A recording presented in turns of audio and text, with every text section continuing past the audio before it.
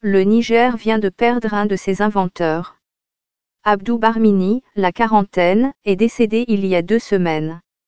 Il avait mis au point un purificateur de fumée industriel. Il laisse derrière lui une dernière invention. Un manège pour enfants.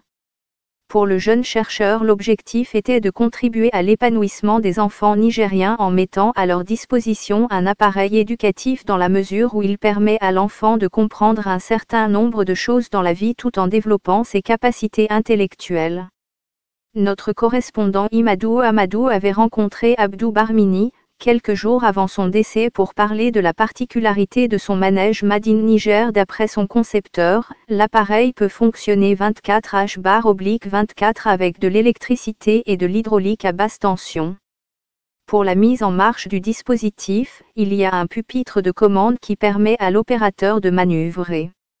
Une fois que l'appareil est lancé, la vitesse est électriquement variable.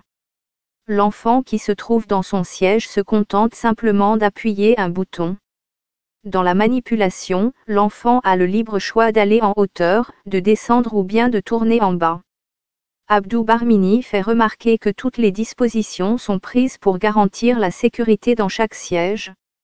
Les parents qui se bousculent autour du manège pensent que c'est un moyen de distraire leurs enfants à un prix tout à fait abordable. Beaucoup des Nigériens sont capables de faire mieux que ce manège estime Abdou Barmini persuadé qu'avec un soutien fort de l'État, les ingénieurs du pays pourraient concevoir des appareils à l'aide de technologies purement nigériennes.